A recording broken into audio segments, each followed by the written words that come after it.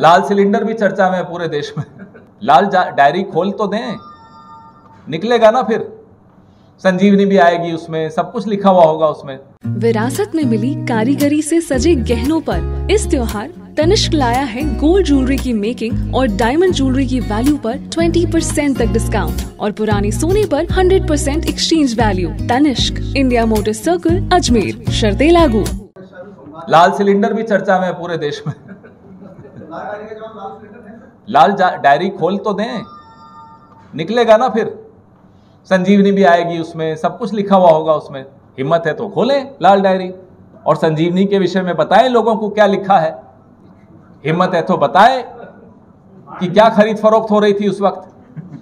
बताइए और लाल सिलेंडर ज़रूर साथ में रखिए जब लाल डायरी खोले तो। आगे स्टेबल सरकार दे पाएगी बिल्कुल देंगे इसके बिल्कुल देंगे।